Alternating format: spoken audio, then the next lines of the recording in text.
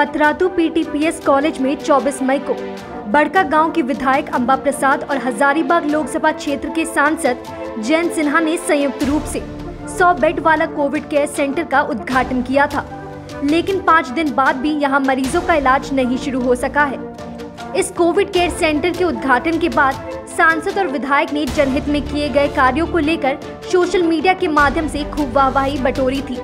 लेकिन दुर्भाग्य की बात यह है कि जब पाँचवें दिन भी मरीजों का इलाज यहाँ से शुरू नहीं हो पाया तो लोगों को काफ़ी परेशानियों का सामना करना पड़ रहा है।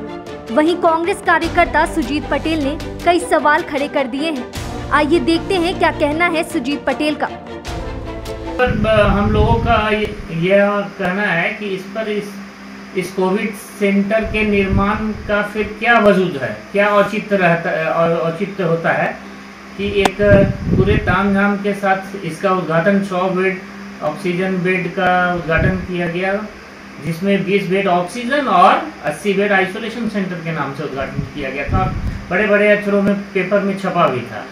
तो हम लोगों का कहना है, यहाँ के नागरिक का कहना है कि, जनता का कहना है कि भाई, एक इस कोविड सेंटर से हम लोग आश्वस्त थे कि किसी भी परिस्थिति में आकस्मिक परिस्थिति में सीरियस कोई होता है तो बगल में एक अस्पताल है जहाँ हमें तुर, तुरंत राहत मिल सकती है। न्यूज़ अपडेट के लिए आप हमारे चैनल को सब्सक्राइब करें।